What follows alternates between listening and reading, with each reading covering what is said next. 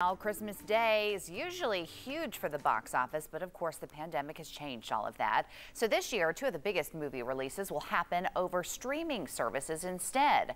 Wonder Woman 1984 debuts on HBO Max, while Pixar's Soul will be released on Disney Plus.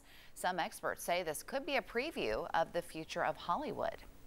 Well, make sure you've got the band-aids ready for Christmas. Unwrapping presents can be dangerous. In 2016, more than 1,700 people visited emergency rooms with Christmas-related injuries. A lot of them caused when people used box cutters or scissors to open packages.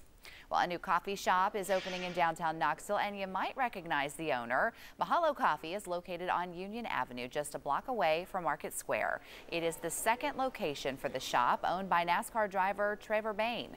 He says the space became available after one of his friends had to close.